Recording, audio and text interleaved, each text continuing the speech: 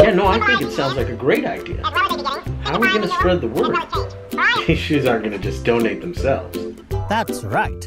But you can help get those shoes where they want to be.